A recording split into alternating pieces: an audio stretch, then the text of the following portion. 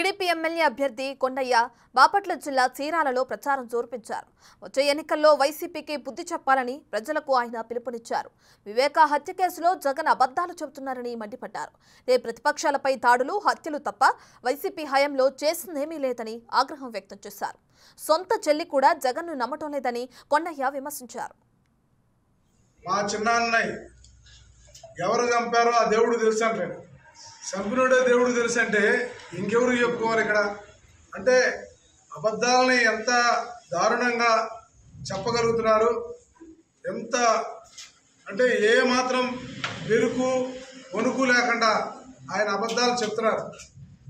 కాబట్టి కేడర్ మొత్తం కూడా ఆలోచించాల్సినటువంటి అవసరం ఉంది ఇక్కడ. అంటే ఎంత బరిదిగింపుకైనా సరే ఈరోజు వైసీపీ పార్టీ సిద్ధంగా ఉన్నదన్న విషయాన్ని గమనించాలి.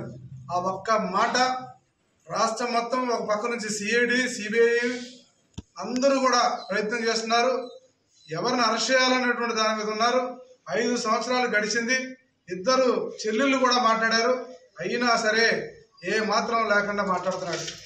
అది కాకుండా ఎక్కడికక్కడ కేడర్ని నిర్వహిస్తున్నాడు.